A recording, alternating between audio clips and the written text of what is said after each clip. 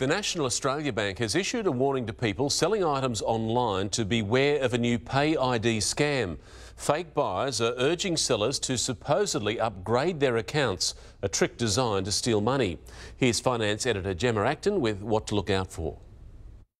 Mark, selling unwanted items is a great way to boost income. It's estimated that more than half of us have around $1,500 worth of saleable junk.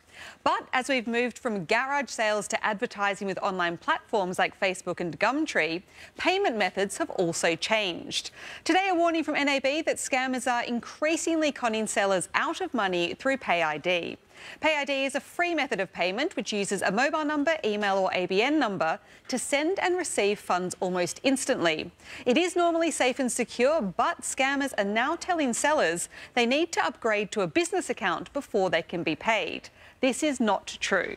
NAB says sellers should keep in mind you never have to send money to receive money using PayID, nor do you have to upgrade or pay extra fees. Also, PayID will never contact you directly via email, text or messenger.